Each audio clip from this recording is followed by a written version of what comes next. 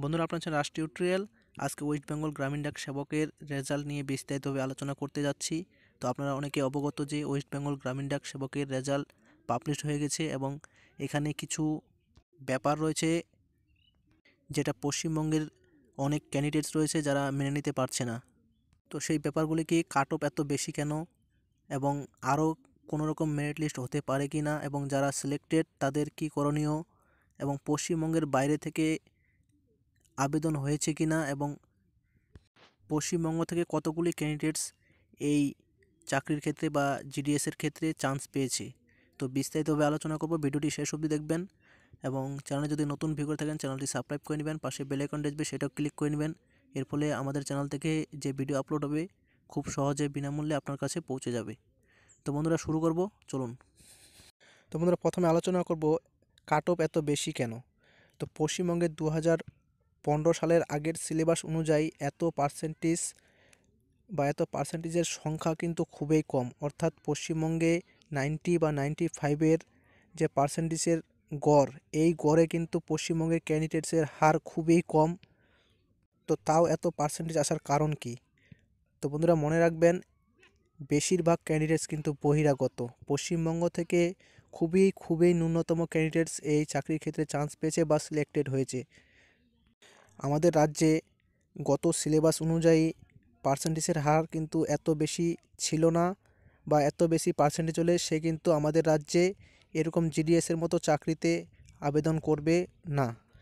আর করলেও খুব কম সংখ্যক ছাত্রছাত্রী রয়েছে যারা এত পার্সেন্টেজ পেয়ে জিডিএসে অ্যাপ্লাই করবে। তো এত বেশি পার্সেন্টেজ হওয়ার কারণ হচ্ছে বহিরাগত, বেশিরভাগ বিহার এবং উত্তরপ্রদেশ এবং অন্যান্য যে প্রতিবেশী রাজ্য রয়েছে, সেখান থেকে কিন্তু আবেদন করা হয়েছে। তো এটি আমি কি করে বুঝলাম? আমি পুরো লিস্টটি খুব ভালোভাবে দেখেছি এবং নামগুলিও ভালোভাবে দেখেছি। যে সমস্ত টাইটেলের নাম মেরিট লিস্টে এসেছে, তারা কিন্তু পশ্চিমবঙ্গের বাসিন্দা হতে পারে না। বেশিরভাগ টাইটেল দেখে যেটা অনুমান করা যাচ্ছে যে বিহার থেকে বা অন্যান্য স্টেট থেকে বহু ক্যান্ডিডেটস এই চাকরিতে আবেদন করেছেন এবং তাদের কিন্তু পার্সেন্টেজ পশ্চিমবঙ্গের পার্সেন্টেজ থেকে অনেক বেশি। সে কারণে কিন্তু তারা এই জিডিএসে সিলেক্টেড হয়েছে। তো বন্ধু, তারপর আলোচনা করব যে এরপরও আর কোনো মেরিট লিস্ট হতে পারে কি না তো এরপরে আর কোনো মেরিট লিস্ট হওয়ার চান্স নেই, তবে আরও অনেক পশ্চিমবঙ্গের ক্যান্ডিডেটস রয়েছে যারা এই জিডিএসে চান্স পাবে। তো কি করে তাদের মোবাইলে এস এম এসের মাধ্যমে তারা খবর পেয়ে যাবে যে তাদের সিলেকশন হলো কি না কারণ বন্ধুরা, যারা বহিরাগত বা অন্য স্টেট থেকে আবেদন করেছেন, তারা বারো থেকে চোদ্দ হাজার টাকার জন্য অন্য স্টেট থেকে এই স্টেটে চাকরি করতে পারবেন না। অনেকে আবার চাকরি ছেড়ে দিবেন। তো সে কারণে কিন্তু অনেকে জয়েনও হবেন না এবং অনেকগুলি ভ্যাকেন্সি আবার পূরণ হবে।